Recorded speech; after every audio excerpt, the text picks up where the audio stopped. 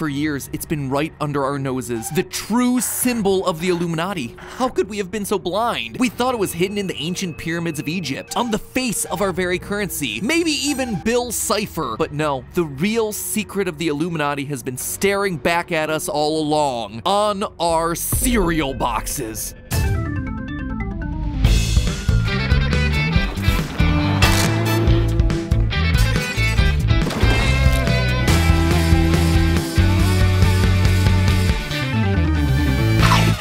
Internet! Welcome to Food Theory, the show that takes a base of facts, supplements some logic and reason, and sprinkles on just a little tasty speculation. Welcome to part four of what is shaping out to be an ongoing series, all with the theme of the food you eat is somehow connected to a government conspiracy, which is somehow not a hyperbole, but also not the greatest name for a series of episodes. It needs something catchier like The Lord of the Nutritional Hierarchy or The Food Industry, Dairy Strikes Back. Luckily, my research is better than my branding, I guess. Anyway, today we'll be piggybacking off of a discussion that started two episodes ago about why chicken nuggets exist at McDonald's, and then its follow up episode about why we believe carrots are good for our eyesight. So if you missed either of those two episodes, well, they're not required viewing to understand today's theory, but they do set a very solid context for it. Some of you may know that I started a Diet Coke purge at the beginning of the year that's still going strong as of the time of this recording.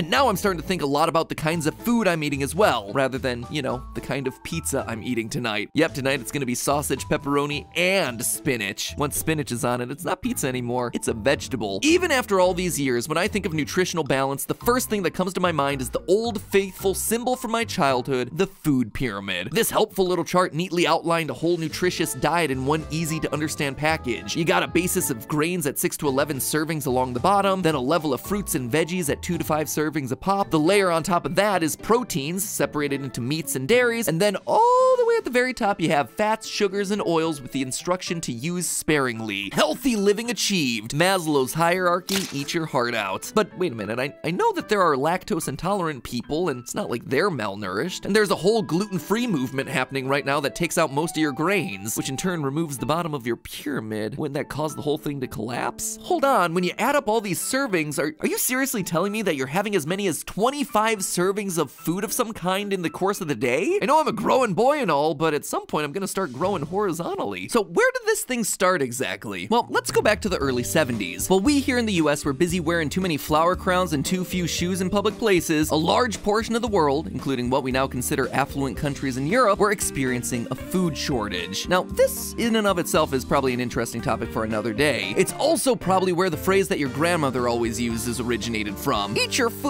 kids on the other side of the world are starving. Well, we probably wouldn't say it this way anymore since it seems culturally insensitive in 2022. At the time, it was actually kind of correct. There was a huge malnutrition issue, especially in places like India and Southeast Asia, where children were disproportionately dying of nutrition-related ailments. At the time, the widespread food shortage was blamed on a few factors. First, there was general world overpopulation, which is a little funny considering that the population of the world in 1970 was half of what it is today. Next, there was a massive multi-year drought across a huge portion of Africa, and generally bad weather in other parts of the world over multiple years depleting food reserves, which today we would likely attribute to climate change. Added to that, there was even more unrest than usual in the Middle East surrounding oil prices from OPEC, which meant that farmers literally couldn't afford the gas to run their farm equipment to save their crops that were dying in a drought. The ultimate irony of this was that in the wake of this food shortage, world governments universally agreed that in order to sustain the population in the coming years, they would need to adopt the Green Revolution, which was a movement to develop seeds that were strongly drought resistant and designed to produce a massive yield. In short, the Green Revolution, designed to solve the world's problems in the 1970s and save millions from world hunger, was to genetically modify our food. GMOs. It's a story for another day. Anyway, back to the problem at hand. Governments needed a solution that encouraged people to eat the crops that could grow during this awful production period. Enter the food pyramid. Not a nutritional guide based on human physiology, rather a nutritional guide based on what the heck can we put on grocery store shelves. One of the first countries to adopt the food pyramid structure was Sweden. Well, yes, the focus of the guide was keeping people healthy in the sense that it was designed to keep them alive and keep them from getting stuff like scurvy. The primary focus of the guide was a diet that utilized common, cheap ingredients without sacrificing necessities to pull the country through the food crisis. The Swedish food pyramid looks generally familiar at first glance, and structurally the diet did depend on each layer below. Remove all the foods in the bottom layer and everything on top doesn't really make a sustainable diet. As we look at this and other pyramids, you'll notice that bread tends to always be at the bottom. And remember, this isn't because it's scientifically the healthiest option. It's because it's calorically dense, it's easy to make, and you can make a whole lot of it with just a few ingredients. Other less intuitive base foods down here are milk and butter, cereals, and potatoes, because potatoes are just a superfood that grows well in pretty much any environment. Just ask my dark kitchen cabinets.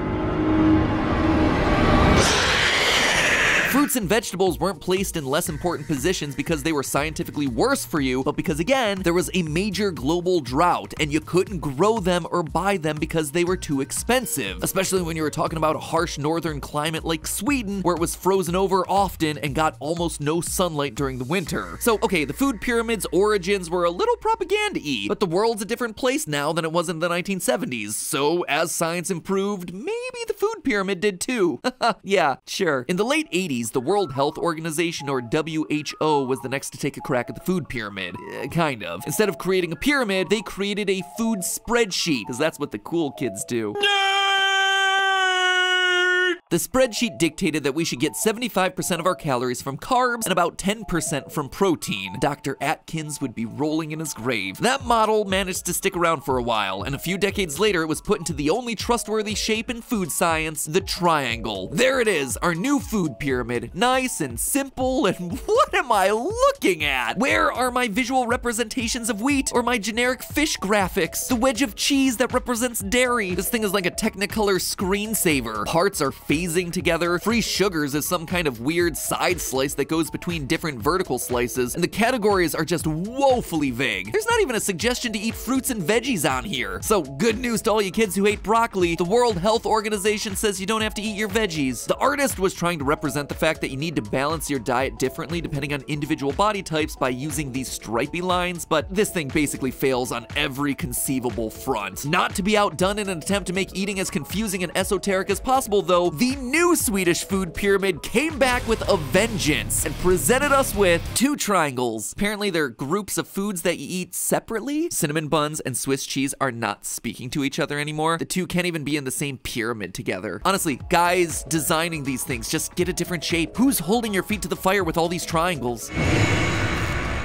Oh, but hey, at least they were making an effort to make their food pyramid based on nutritional science, in stark contrast to the United States. Before the introduction of the food pyramid, the US had some questionable dietary suggestions. The Seven Food Groups was a World War II era nutrition guide that is just bonkers. There is one category for milk and cheese, and another category entirely just for butter and margarine. An entire category for just butter and margarine. No category seems more heavily weighted, which just leaves me to understand that in order to get my requisite amount of butter, I should probably be putting it on essentially every other food category. Maybe I'll just down a few extra tablespoons for good measure. Because this came out during wartime, the driving philosophy behind the USDA food ring was to maximize the amount of calories everyone was getting, resulting in large, strong men should there ever be need for another world war, and presumably large, strong women to either step into men's roles or have really large, strong babies. Today it sounds pretty gross, but back in the day, many more jobs included manual labor, and the variety of foods was was just much lower. Obesity was barely an issue, and studies at the time indicated that malnourishment was causing stunted growth in humans. Dairy products, like butter especially, were calorically dense and delivered a wide variety of essential amino acids. Of course, the result of health guidelines like make sure you're eating a ton of butter every single day was the baby boomer generation becoming significantly more obese than any of their predecessors. Way to go, America! Way to horrendously overcorrect. By the late 80s, there was a clear need for a revamp, based in part on the World Health Organization's suggestions, the US was finally ready to unveil its own version of Sweden's food pyramid. So in 1991, it was blocked from coming out by the food industry because so many parts of the food industry didn't like how it looked. The grain industry lobbied hard to get refined grain products listed with the whole grain products at the base section rather than at the top of the pyramid, and they succeeded. That's why even today we think of white bread and whole grain bread as being basically in the same category, when really white bread is a whole lot closer to cake than it is to grains. They also managed to hide the secrets of serving sizes away in an accompanying booklet, leading people to believe that they needed huge quantities of these items to meet their daily requirements. One slice of bread, for instance, was a single serving, about 15 grams of carbs, so a sandwich would be about two servings of bread, with 6 to 11 being the daily recommended serving size, or about three sandwiches a day. But if you didn't know this, it's easy to blow things way out of proportion. For instance, if we're talking about a bowl of Olive Garden rigatoni, a serving contains 84 carbs by itself, which is almost six servings of that grain section in one bowl. And that's without even including the breadsticks, which is 25 grams of carbs in one stick. And this was just the grain industry lobby. The meat industry also had beef with the pyramid. Get it? Beef with the pyramid? They asked that the colors of the blocks be changed so that meat didn't wind up as red, because they were worried that people would associate red with a warning and would thus stay away from meat as a result. Dairy managed to pull a fast one when they pointed out that processed cheese was less nutritional than natural cheese, and that you would need twice as many servings for processed cheese, which allowed them to increase their overall serving sizes. With just those examples, you can see how the whole process broke down pretty darn quickly with all this industry propaganda. Nonetheless, in 1992, the USDA published their food guide pyramid, and it rapidly infested grade schools across the country. If you grew up during this time period, it seemed like the food pyramid was up there with the Pledge of Allegiance. It was something that you could count on, but in reality, it was just